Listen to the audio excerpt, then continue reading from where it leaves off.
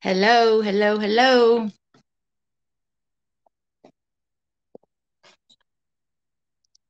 How are you guys doing?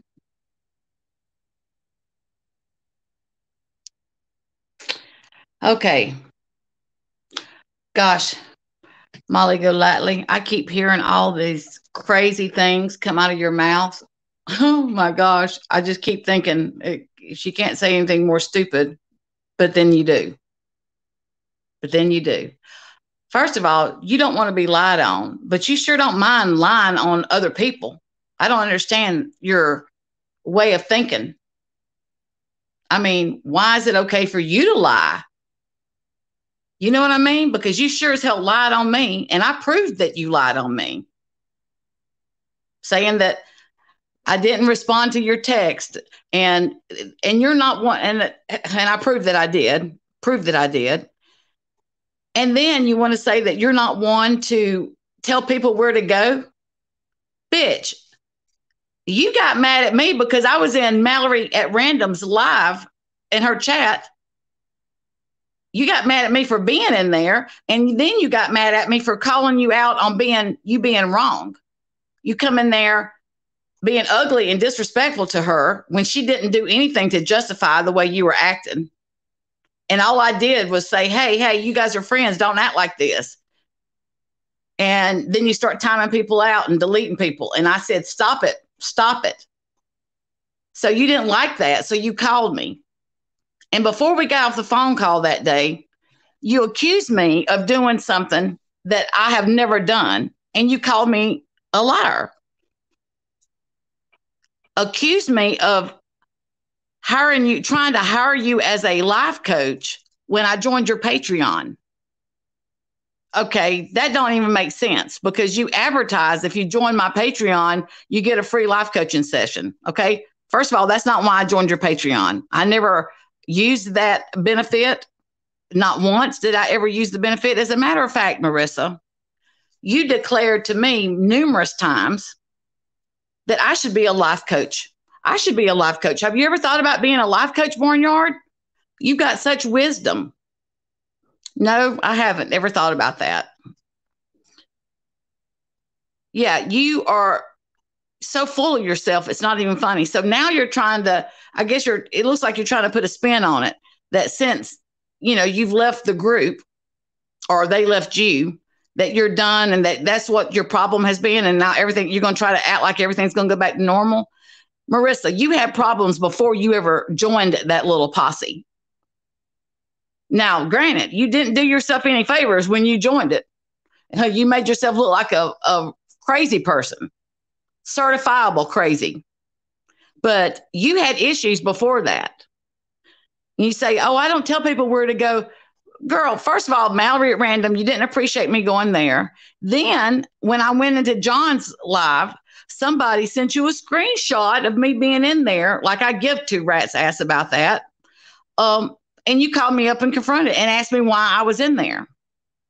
And I have the text messages where you told me that you didn't want to be friends anymore because I was told not to. I wouldn't. I broke the rules. I went places that I wouldn't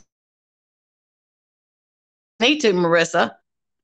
Apparently, you laid the groundwork out in the very beginning about where people can go. People not going to your haters or whatever, going in their chats. First of all, you never did that because if you had ever tried to lay gr- any kind of groundwork out for me, bitch, that would have been the end of our uh, relationship right then and there. So I see you getting on there, and you know, you treated Mallory like crap. You've treated all your friends like crap. Whenever you want to drop your mouth open, whenever Tina says that you were abusive, uh, what do you think that means? Marissa, you were abusive. First of all, you didn't care about your friendships. When I told you that Tina was really sick, your response was, "Oh fuck that! Everybody, we're all sick. We're all fucking dying." After we have sit there and listened to you for a freaking six months bellyache about having a supposedly brain tumor, I mean, we listened to you cry about that, and then we've listened to you cry about Princess, and you uh, making such a big deal about him. He's dying and all that stuff. No, he's not dying, Marissa. All he needs to do is go to rehab, quit drinking, and he can get, save his life and get himself back in control. But the worst thing he could have done was move in with you because you are an enabler. And like you said yourself, you don't know what you're doing. You can't fix him. He's the only one that can fix him, him in rehab. But he's got to want it first, Marissa. You can't make him want something he doesn't want. Surely to God, you know that. You're a life coach, right? I mean, I I mean, gosh, girl, I'm just blown away. I'm just whenever I think you can't say anything more stupid and get up there and lie, you do. And I don't know what you're talking about. You were done with uh, Bullhorn Freddie, Blowhard Freddie, because of um, because she took a white white boy lockdown back. That's not even true. Her or Laura. First of all, Matt and Noel don't want to have anything to do with Blowhorn Betty, Freddie, whatever her name is, and Mar- uh, Laura's never even talked to to him. So what's your excuse now? What's your excuse now? That's not true, Marissa. That's a lie. That is a lie. The reason you fell out with him. I think, in my own opinion, I think that you were way too much for them.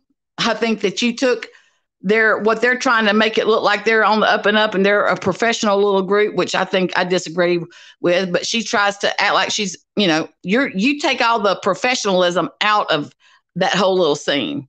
The things that you said, the the things that you said to Don and Candace were beyond cringeworthy. Marissa. And then you want to get up there and say that you believe in and you you're all about uh, innocent until proven guilty. Mm, bitch, I beg to differ because if you were, you wouldn't get up there and have called and said to those people the things that you said to them. And look, you had a celebratory beer, Corona, as a matter of fact, to celebrate Don losing his job. But you didn't mean for that to happen that's sorry. That's sorry as hell that you would find any kind of joy in someone losing their job. The man is trying to, I mean, he still supports his children, the boys, Marissa. How is he supposed to send child support and support his boys? How is he supposed to buy a dog feed? Y'all running around and saying stuff to them like, where is she? And I mean, if he if they thought that, hell, Marissa, so many things are wrong about the things that you've said. You cannot talk to people the way you talk to them and expect to get anything back except a hand. Nobody wants to talk to someone that is so degrading. You degrade people. You are belligerent the way you sound. You defame. You defame those people. I mean, girl, I would Listen, I would have pressed charges on you. You would have pressed charges on you, Marissa. Had the shoe been on the other foot, you would have pressed charges on you. Come on. The best thing you need to do is you need to take a break. You need to step back, back away, boo boo. It's time to turn off. You need to figure out what you want to do and, and get there because girl you are making yourself look like a idiot. You are running rampant on here. You're going in so many damn different directions. You don't you don't know which way to come up at. I'm embarrassed for you. I have been so embarrassed for you. I mean i've sat back and i watched you treat your so-called friends like shit and then you want to get up there and bellyache when things don't go right for you. You don't deserve this. My ass, you don't deserve it. You get what you give, girl. You get what you give. Let that let that soak in for a little bit. When you get up there and say, I don't deserve this, I deserve better, you're getting exactly what you deserve, Marissa. You, you're getting it. You put out, shitty shit, you're going to get shitty shit right back to you. People can only take so much. Most people have a limit to where they're not going to take no more bull crap. I reached mine a long ago, and I'm so glad I did. I wish I reached it sooner than I did. You need to do some self evaluation. Listen to this life coach. Listen to this. Since you told me I should have been a life coach, listen to me. Let me give you a little my life coaching advice.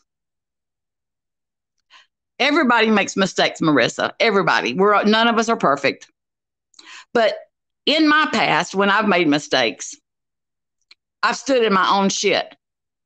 When I stand in it, stood in it, smelled it, I decided I didn't want to make that mistake again. So I chose different paths from that point on.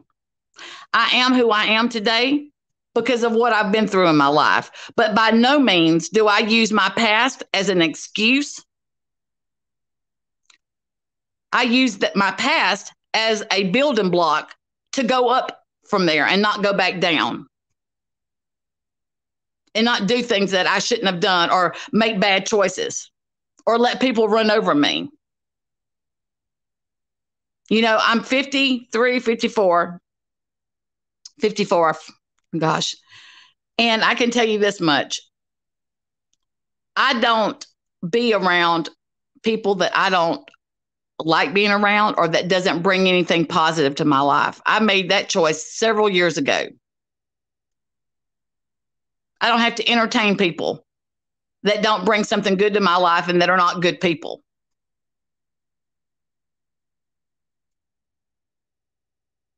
So our friendship coming to an end was already ending before you got mad about me going in John Crimes live. And you said in a text message, I better not ever screw you over. I have never screwed you over, Marissa. I'm speaking the truth right now. I haven't I haven't screwed you over. I don't go around screwing people over and being destructive in my life. I don't do that. I have got friends from where I made friends in grammar school, elementary. I'm still friends with those people. Everywhere I've ever lived, I still have friends that live in those places that I could call at the drop of a dime if I need something. Because that's the kind of friend I am. So you need to what you need to do, my life coaching experience is you need to stand in your own shit if hell, maybe bathe in it if you need to. But you need to start being kind to Princess and you need to get him in rehab, Marissa. If you're going to do anything and help him, if you want to help your friend, sincerely help your friend, that's like family, get him in rehab or show him tough love because you're letting him kill himself by not getting help. He either needs to accept that he's got a problem and start getting help for it, or you need to put him out on his ass until he realizes that he's got a problem, Marissa.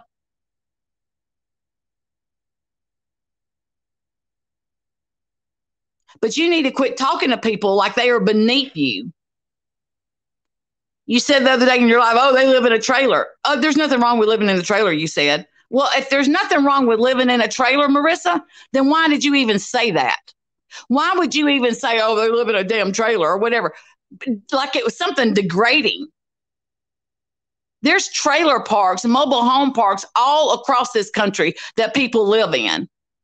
And I've been in some that is as nice as your home, as nice as my home. So that's one thing, Marissa. When you say stuff like that, that is the most degrading, ugly thing that you could say. Quit talking about people like they are beneath you like you were some damn special uh, life coach because you're not. Marissa, you're embarrassing.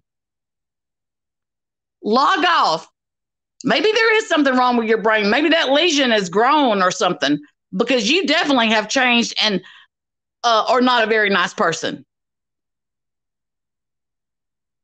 So, my advice to you as a life coach that I should have been as per you, Marissa, was you need to log off, boo boo. You need to quit putting people down. You need to quit looking down your nose at people like they are beneath you. Because you're no better than anybody else, girlfriend. Your little world could crash uh, with a snap of the fingers, just like anybody else's. You're no better, Marissa. Pay attention to your family. Your family needs you. You need to pay attention to your family.